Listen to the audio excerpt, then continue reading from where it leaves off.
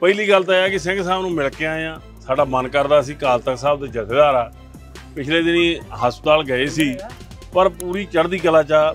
ਇਹ ਅਸੀਂ ਦੇਖ ਆਏ ਹਾਂ ਪੂਰਨ ਤੌਰ ਤੇ ਸਿਹਤਯਾਬ ਹੁਣ ਜਿਹੜੀ ਗੱਲ ਅਸੀਂ ਕਰਨ ਲੱਗੇ ਆ, ਉਹ ਇਹ ਆ ਕਿ ਸਾਡੀ ਕੌਮ ਦੇ ਮਹਾਨ ਇੱਕ ਯੋਧੇ, ਜਿਹਨੂੰ ਅਸੀਂ ਕਹਿ ਲਈਏ ਕਿ ਹਿਊਮਨ ਰਾਈਟਸ ਨਾਲ ਸੰਬੰਧਿਤ ਗੁਰੂ ਤੇਗ ਬਹਾਦਰ ਜੀ ਮਹਾਰਾਜ ਨੇ ਇੱਕ ਰਸਤਾ ਦਿਖਾਇਆ। ਕਿ ਮਾਨਵਤਾ ਦੇ ਭਲੇ ਲਈ ਕਾਰਜ ਕਰ ਰਹੇ ਜਸਵੰਤ ਸਿੰਘ ਖਾਲੜਾ, ਉਹਨਾਂ ਵਿੱਚੋਂ ਇੱਕ ਹੈ ਜਿਨ੍ਹਾਂ ਨੇ ਆਪਣਾ ਆਪਾ ਵੀ ਕੁਰਬਾਨ ਕੀਤਾ, ਆਪਣਾ ਜੀਵਨ ਵੀ ਕੁਰਬਾਨ ਕੀਤਾ। ਉਹਨਾਂ ਦੇ ਨਾਲ ਸੰਬੰਧਿਤ ਉਹਨਾਂ ਦੇ ਪਰਿਵਾਰ ਦੀ, ਉਹਨਾਂ ਦੀ ਧਰਮ ਪਤਨੀ ਬੀਬੀ ਪਰਮਜੀਤ ਕੌਰ ਖਾਲੜਾ, ਉਹਦੇ ਵੱਲੋਂ ਇੱਕ, ਉਹਦੇ ਵੱਲੋਂ ਨਾ ਇੱਕ ਚਿੱਠੀ ਪੰਥ ਦੇ ਨਾਲ ਜਾਰੀ ਕੀਤੀ ਗਈ। ਦੋ ਚਾਰ ਦਿਨ ਹੋ ਗਿਆ। ਇਹ ਚਿੱਠੀ ਹੈ ਜਿਹੜੀ ਪੰਥ ਦੇ ਨਾਲ ਜਾਰੀ ਕੀਤੀ ਗਈ ਆ ਇਹ ਚਿੱਠੀ ਇੱਕ ਫਿਲਮ ਬਣੀ ਹੈ ਜਿਹੜੀ 2 ਸਾਲ ਤੋਂ ਪਹਿਲਾਂ ਦੀ ਬਣੀ ਹੈ ਤੇ ਪੰਜਾਬ 95 ਨਾਮ ਆ ਫਿਲਮ ਦਾ। ਉਸ ਨੂੰ ਬੜੇ ਬੜੇ ਬੜੇ ਗੇੜੇ ਕੱਢੇ ਕਢਾਏ ਜਾ ਰਹੇ ਆ ਜਿਹੜਾ ਸਾਡਾ ਸੈਂਸਰ ਬੋਰਡ ਆ। ਹੁਣ ਅਖੀਰ ਤੇ ਇੱਥੇ ਤੱਕ ਆ ਗਈ ਗੱਲ ਕਿ ਉਹਦੇ 'ਚ 120 ਕੱਟ ਲਾਉਣ ਦਾ ਐਲਾਨ ਹੋ ਗਿਆ। ਵੀ ਜੇ ਤੁਸੀਂ 120 ਕੱਟ ਲਾਉਨੇ ਹੋ, ਉਸ ਕੱਟ ਦੇ ਵਿੱਚ ਉਹਨਾਂ ਨੇ ਕਿਹਾ ਕਿ ਉਹਦਾ ਨਾਮ ਵੀ ਨਹੀਂ ਹੋਣਾ ਚਾਹੀਦਾ। ਉਹ ਸਥਾਨ ਵੀ ਨਹੀਂ ਜਿਨ੍ਹਾਂ ਦੇ ਨਾਮ ਜ਼ਿਕਰ ਕੀਤੇ ਆ, ਉਹ ਨਹੀਂ ਹੋਣੇ ਚਾਹੀਦੇ। ਤੇ ਗੁਰਬਾਣੀ ਦੀਆਂ ਜਿਹੜੀਆਂ ਕੀਰਤਨ ਦੀਆਂ ਧੁਨਾਂ ਨੇ ਉਹਦੇ ਵਿੱਚ ਸਮ, ਉਹ ਸਮੇਂ ਦੇ ਨਾਲ ਸੰਬੰਧਿਤ ਉਹ ਵੀ ਜਿਹੜੀਆਂ ਨਹੀਂ ਹੋਣੀਆਂ ਚਾਹੀਦੀਆਂ।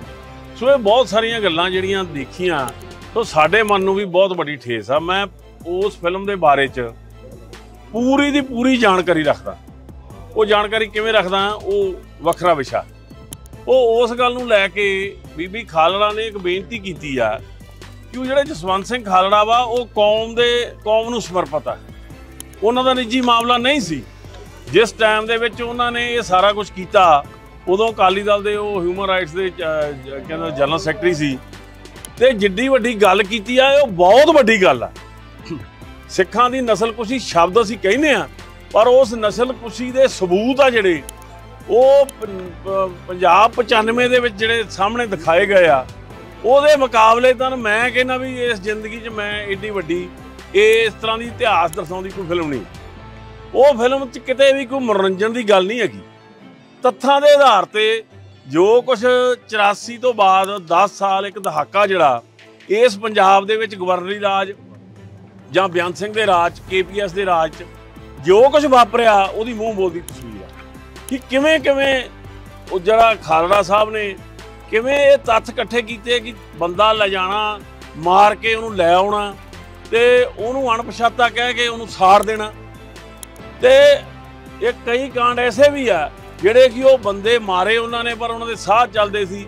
ਉਹ ਫੇਰ ਹਸਪਤਾਲ ਚੋਂ ਖੋ ਕੇ, ਮੋਰਚਰੀ ਚੋਂ ਖੋ ਕੇ ਲਿਜਾ ਕੇ ਉਹ ਦੁਬਾਰਾ ਮਾਰ ਸੋ ਇਹ ਜਿਹੜੀ ਫਿਲਮ ਆ, ਕਿਸੇ ਵੀ ਤਰ੍ਹਾਂ ਸਿਆਸਤ ਦਾ ਪ੍ਰਭਾਵਿਤ ਨਹੀਂ ਹੈ ਕੋਈ ਸਿਆਸਤ ਦੀ ਗੱਲ ਨਹੀਂ ਕਰਦੀ। ਇਹ ਜਿਹੜਾ ਨਿਜ਼ਾਮ ਸੀਗਾ ਉਸ ਸਮੇਂ ਜਿਹਨੇ ਸਿੱਖਾਂ ਦਾ ਕਤਲੇਆਮ ਕੀਤਾ ਤੇ ਸਹੀ ਨਸਲਕੁਸ਼ੀ ਕੀਤੀ। ਆਪਾਂ ਸਾਰੇ ਜਾਣਦੇ ਹਾਂ ਤੁਸੀਂ ਇਸ ਮਾਝੇ ਨਾਲ ਸੰਬੰਧਿਤ ਹੋ ਵੀ ਕਈ ਪਿੰਡ ਐਸੇ ਸੀ ਜਿਨ੍ਹਾਂ 'ਚ 20-20 ਸਾਲ ਜਿਹੜੀ ਆ ਜੰਨ ਨਹੀਂ ਚੜੀ ਇਹ ਦੁਖਾਂਤ ਆ ਸਿੱਖਾਂ ਦਾ। ਸੋ ਉਸ ਦੁਖਾਂਤ ਨਾਲ ਸੰਬੰਧਿਤ ਸਾਡੇ ਦਿਲ ਤੇ ਇੱਕ ਦਰਦ ਹੈ ਕਿ ਉਹ ਦੁਖਾਂਤ ਅੱਜ ਦੀ ਪੀੜ੍ਹੀ ਦੇ ਅੰਦਰ ਤੇ ਦੁਨੀਆ ਦੇ ਅੰਦਰ ਪਰਦੇ ਰਾਹੀਂ, ਫਿਲਮ ਦੇ ਰਾਹੀਂ ਜਿਹੜਾ ਆਉਣਾ ਚਾਹੀਦਾ।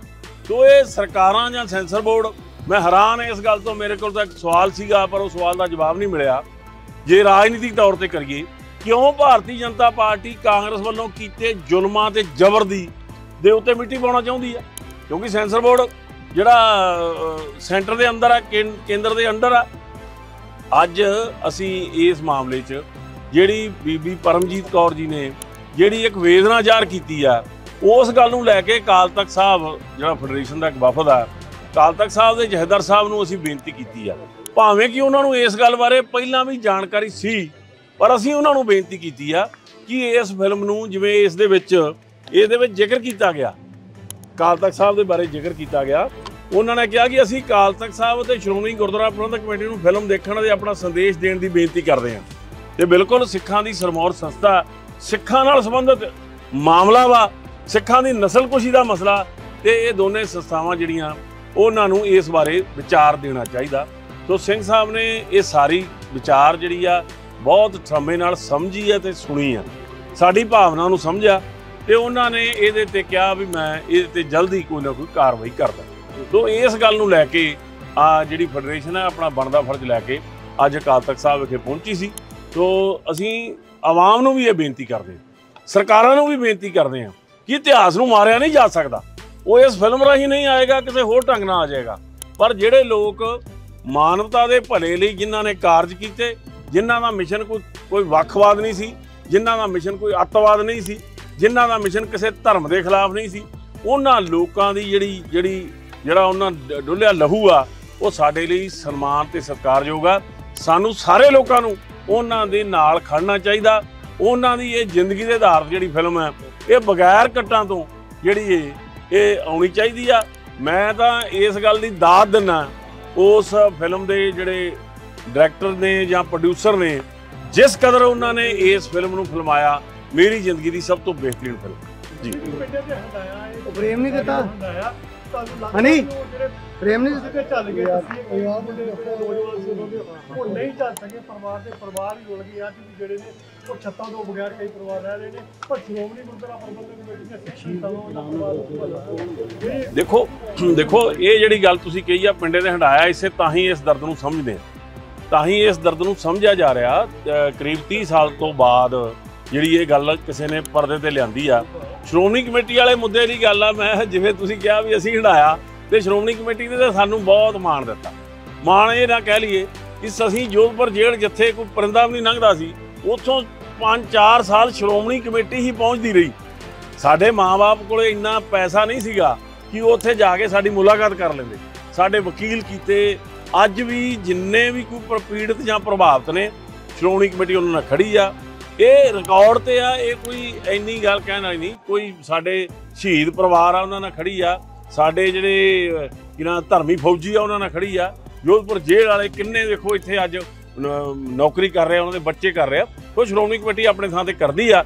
ਸੋ ਇਹ ਗੱਲ ਠੀਕ ਆ ਕਿ ਉਹ ਦਰਦ ਜਿਹੜਾ ਹੰਡਾਇਆ ਸੀ ਉਸ ਦਰਦ ਦੇ ਕਰਕੇ ਸਾਨੂੰ ਇਹ ਪਤਾ ਕਿ ਇਹ ਦਰਦ ਕਿੱਡਾ ਵੱਡਾ।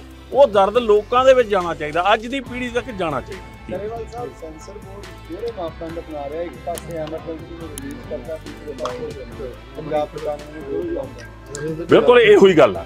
ਦੇਖੋ 6 ਕੱਟਾਂ ਦੀ ਗੱਲ ਆਈ 6 ਕੱਟਾਂ ਦੀ। ਤੇ ਬੀਬੀ ਦੇ ਮੈਂ ਬਾਹਲਾ ਨਹੀਂ ਉਹਨੂੰ ਤਵੱਜੋ ਦੇਣਾ ਚਾਹੁੰਦਾ ਕਿਉਂਕਿ ਉਹ ਬੇਲੋੜਾ ਆਪਣਾ ਮੁੱਦਾ ਉਠਾ ਕੇ ਆਪਣੀ ਫਿਲਮ ਦੀ ਪ੍ਰੋਮੋਸ਼ਨ ਕਰ ਰਹੀ ਆ।